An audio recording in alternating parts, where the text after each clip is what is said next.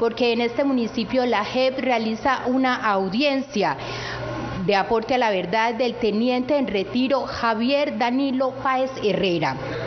Él estaría implicado en el homicidio de una persona protegida que fue recientemente identificada por la JEP y quien había sido presentado ilegalmente como una baja en combate conocida como falso positivo.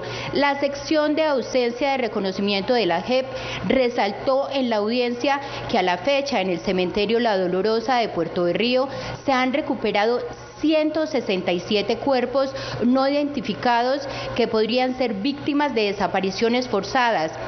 Se tiene previsto que a inicios del mes de agosto se hará la entrega de la víctima que se trata de José Manuel Caballero.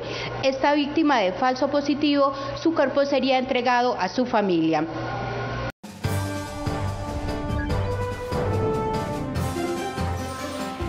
¿Sabías que ya ahora 13 Noticias cuenta con plataformas digitales? Escríbenos para que conozcas todas las opciones de pauta que tenemos para que puedas anunciar tu producto o servicio.